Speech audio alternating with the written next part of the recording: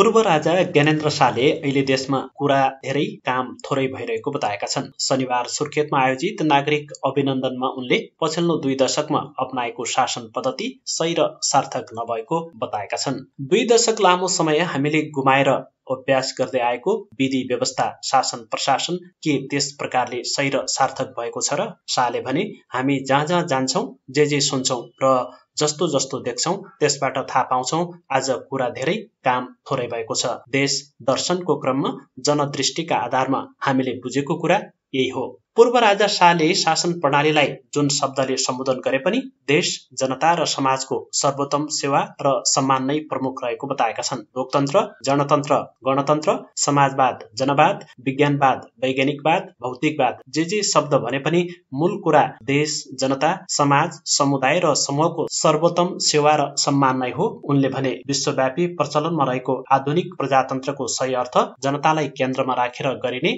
सुशासन र विकास नै हो। जनताले सोचेको र खोजेको जस्तो नहुँदा त्यस्तो पद्धति केही समयका लागि टिकाउ मात्र हुने तर टिकाउ नहुने शाहले बताएका छन्। जनताले रोजेको र जनताले खोजेको र जनताले सोचेको अनुसार जब हुँदैन तब त्यस्तो पद्धति केही समयको टिकाउ मात्र हुन्छ टिकाउ हुँदैन उनले भनेका छन्। पूर्व राजा शाहले देशको स्वाभिमान बचाउन एक हुनुको विकल्प नरहेको भन्दै के गर्दा देशको हित हुन्छ त्यसतर्फ ध्यान दिनुपर्ने बताएका छन्। राष्ट्रवाद फस्टाउनलाई राष्ट्र प्रेम चाहिन्छ नेपालको पीर मर्का बुझ्ने नेपाली मुटुले मात्र सक्छ। पूर्व राजा शाहले भने अब सोचौं के गर्दा फाइदा हुन्छ के नगर्दा देशलाई फाइदा हुन्छ? घण्टाघर अगाडि गरिएको कार्यक्रममा पूर्व राजा रानीलाई दैलेख पञ्चकोशीको जलपान गराएर नागरिक अभिनन्दन गरिएको थियो। नागरिक अभिनन्दनका लागि एक सय आठ सदस्य समिति र बीस सदस्य उपसमिति गठन गरिएको थियो।